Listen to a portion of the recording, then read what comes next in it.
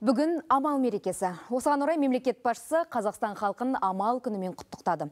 Әз наурыздың бастауы амал күні құтты болсын. Бұл халқымыздың ежелгі әдет ғұрпын жаңғыртып, төл мәдениетіміздің ажырамас бөлігіне айналған бірегей дәстүріміз. Осы күні ұлттық болмысымыз бен құндылықтарымыз ерекше дәріптеледі. Ел ырысы көбейе берсін.